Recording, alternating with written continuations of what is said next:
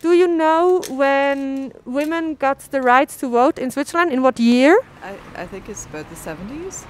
In the 70s? Yeah, that's right. It's 1971. Do you think that's uh, early or late? It seems to be late regarding uh, if, I, if I'm looking at others. I'm from Canada. And how about the women's rights there? Do you know about them? When did the women uh, have the right to vote? That I don't know. And uh, if you could change something for women's rights today, what would you change?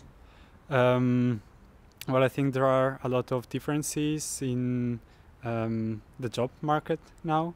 Um, the salaries that women get are much lower than the one which men get. Also, um, I think like there are some jobs which are more frequent by men. For example, the whole uh, science, yeah, science world, and that's not good. I think it's like a social problem nowadays, not only in Switzerland, but I'm from Italy, so in Italy we have this problem. Also, we also have this problem. Gerade in der Schweiz von den USA gekommen. Ich war total erschrocken, dass kein Frauenstimmrecht, das war 1971.